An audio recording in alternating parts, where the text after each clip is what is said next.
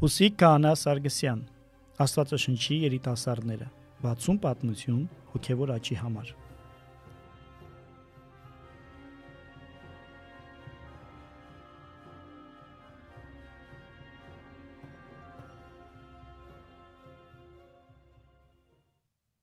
Հրուտ հարցներ, սկեսուրներ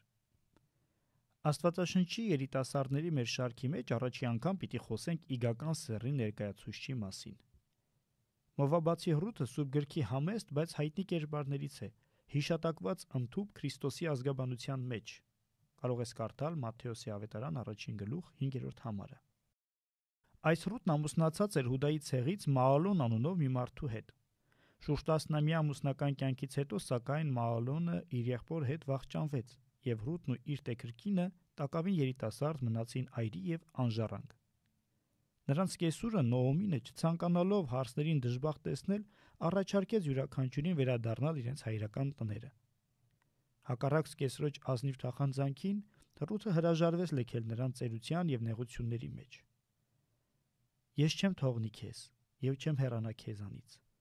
Ուր էլ որ դու գնաս, ես էլ կգնամ։ Որտեղ էլ որ մնաս, ես էլ կմնամ։ Քո ժողովուրդն իմ ժողովուրդն է եւ քո Աստվածն իմ Աստվածն է որտեղ որ դու մեռնես, այնտեղ էլ ես կմեռնեմ եւ կթաղվեմ։ Թող Տերը այդպես եւ սրանից ավելին անի ինձ, միայն մահը կբաժանի ինձ քեզանից։ Այս էր Ռութի վերջնական պատասխանը, որ կարող են կարդալ Ռութի գրքի առաջին գլուխ 16-ից 17 համարներում։ Երբ Նոոմինն ու Ռութը տեղափոխվեցին Բեթխեհեմ, Ռութը շարունակում էր հավատարմորեն եւ հարգալից ծառայել իր ամուսնու մորը։ Ամեն օր արտերուն ծորենի հասկերի մնացորդներ հավաքելով նա ջանք չէր խնայում իր սկեսրոջ օրվա ապրուստը հոգալու համար։ Հավանաբար Ռութի այս սերը, նվիրումն ու հարգալից վերաբերմունքն էլ օրնություն բերեցին նրան այնպես, որ կար ժամանակ անց երիտասարդ աղջիկը վերագտավ իր երջանկությունն ու ամուսնացավ Բոոսի հետ։ Կարդա Ռութի գիրք 4-րդ գլուխ։ Նորաբողբոջ երիտասարդ ընտանիքների համար, հատկապես Հայաստանում, որտեղ հաճախ նորապսակներն ապրում են կողակցի ծնողների հետ, Ռութը հավատարմության եւ հարգանքի հիանալի օրինակ է։ Որքան հաճախ են մեր իրականության մեջ ընտանիքները քանդվում հարց սկեսուր, փեսա զոքանջ փոխհարաբերությունների պատճառով։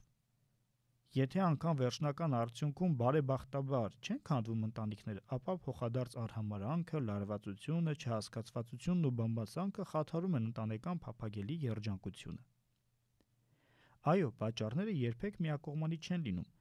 բայց փոխադարձ հարգանքը եւ հատկապես լայնախոհ ըմբռնումի ու խորագիտության դրսևորումները երիտասարդի կողմից կարող են բացել հարաբերությունների անգամ ամենախճճված կծիկը։ Մի քանի կարևոր խորհուրդներ։ Առաջին. Սիրելի ամուսիններ, ճիշտ չէ բարձրաձայնել անձնական խնդիրները, որոնք ցակում են երկուսիդ միջև։ Ինքներդ գտեք լուծումներ եւ հաշտության ճանապարհներ առանց ծնողներին խառնելու։ Երկրորդ Սիրելի ծնողներ, այն օրը, երբ Ղուրանի արչև ձեր զավակները խոստում տվեցին Աստծուն իրար Տեր եւ հավատարիմ լինել, Աստված նրանց աներևութապես դարձրեց մեկ մարմին։ Տղամարդը պիտի թողնի հորը եւ մորը ու պիտի գնա իր կնոջ ետևից եւ երկուսը մեկ մարմին պիտի լինեն, ասում է Սուրբ Գիրքը։ Հետևաբար այլևս կարիք չկա ծնողական անհարկի միջամտություններ կատարելու։ Այդ պետք է նպաստել ընտանիքի առավել ամբրանալուն, խաղաղության եւ սիրո մտնոլորտի մեջ։ Երորդ.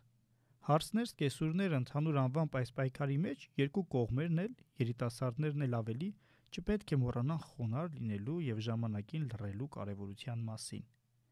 Փոխադարձ նետահարումները երբեք փոխհասկացվածության չեն կարող բերել։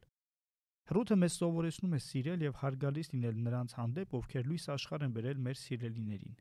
սնել ու դաստիարակել են նրանց։ Ի վերջո դարձրել այնպիսի մեկը, որին մենք հանդիպելով սիրահարվել ենք եւ սիրում ենք։ Ի վերջո սիրելի երիտասարդ, հարգանք ցուցաբերելով կողակցի ծնողների հանդեպ ինքդ քեզ հարգած կլինես։ Չէ որ ամուսնությամբ կողակցից հետ մեկ մարմին, մեկ էություն լինելով դառնում ես նաև զավակը նրա ծնողների։ Հրուտի օրինակը մեզ ցույց է տալիս, որ այսպիսի հարգանքն ու հոգացությունը ավելացնում է օրնության բաժինը մեր ընտանիքների մեջ։ Որդյակս, պատվիր քո սկեսուրին ու սկեսրայրին, քանի որ այժմ նրանք են քո հայրն ու մայրը, եւ հերու մնա ատելության խոսքերից։ Տոբիթի գիրք 10-րդ գլուխ 12-րդ համար։ Հարցեր մտորելու համար։ Անշուշտ Ռութի պատմության այս օրինակը նախ վերաբերում է այն երիտասարդներին, ովքեր ամուսնացած են։ Սակայն եթե անգամ դեռևս ամուսնացած չես, կարող ես մտորել հայաց գցելով ապագային։ Մտածենք, որքանով է հարգանքը կողակցի ծնողների հանդեպ ուղիղ համեմատական հենց կողակցի հանդեպ ունեցած սիրուն եւ հարգանքին։ Կուզեիր արդյոք որ քո կողակիցը անհարգալից կամ անտարբեր վերաբերմունք ցուցաբերեր քո ծնողների հանդեպ։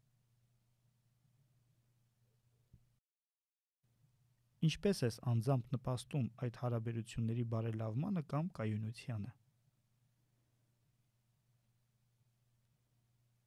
Փորձիր ինքդ քեզ համար անկեղծորեն գտնել այս հարցերի պատասխանները։